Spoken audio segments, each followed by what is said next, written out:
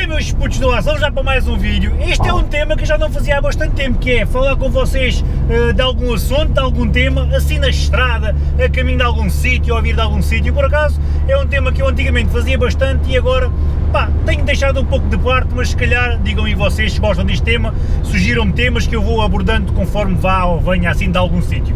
E este tema, como vocês viram no tópico e na thumbnail, é o quê? É sobre este Toledo, uh, sobre a quilometragem que ele fez com um depósito.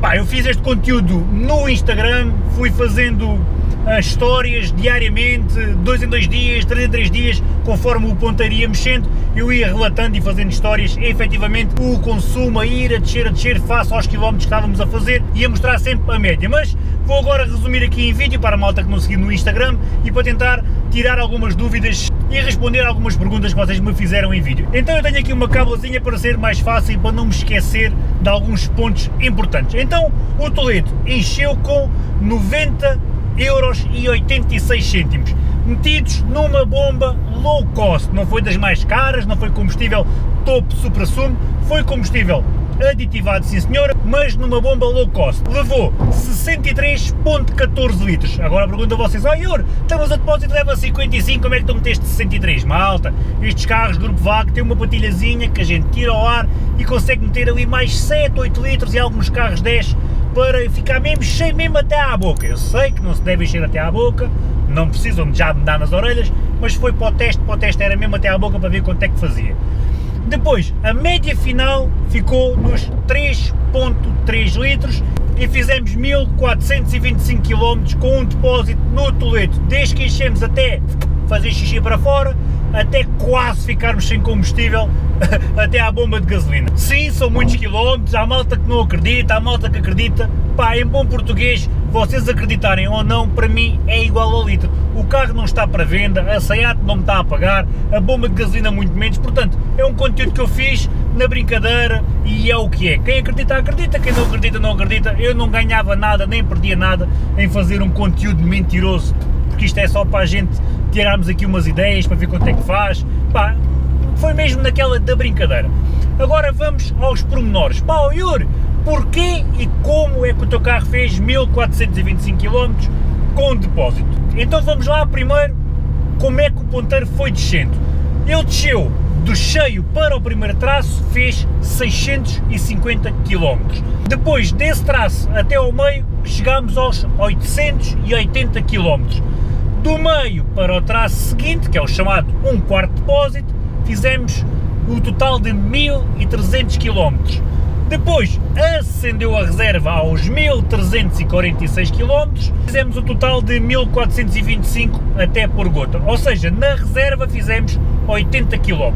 Agora, como é que tu fizeste essa proeza, Yuri? Olha, vamos começar pelo trajeto. O trajeto que eu faço é sempre este.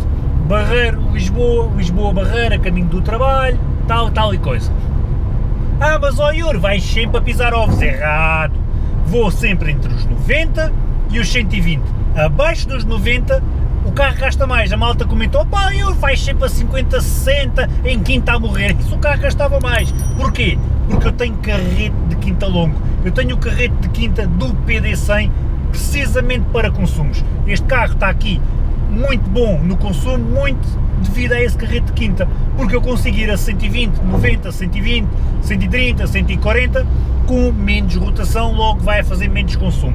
Depois o mapa, este mapa foi feito há muitos anos pela Checkabout, eu já falei disso, já fiz vídeos disso, mas o mapa foi feito a otimizar o consumo. Ele fez mais potência, fez 144 cavalos, se não me engano, eu até voltei a medir nem há muito tempo no Kiss e ele mantém os mesmos cavalos, 144 cavalos, mas a gente tentou sempre otimizar o consumo, porque este carro não tem 630 mil km feitos à toa, este carro é um carro de trabalho. Eu comprei com esse propósito, procurei um dos carros mais fiáveis, com a manutenção mais barata e que gastasse menos, precisamente porque eu faço Barreiro, Lisboa, Lisboa, Barreiro, ou Sintra, onde eu trabalhava antigamente, uh, praticamente há 15, 20 anos, portanto eu procurei o carro com esse propósito. E isso tudo conta. O caminho é sempre em frente, não há assim subidas nem descidas. O carrete de quinta ajuda, a eletrónica ajuda. Depois tudo conta.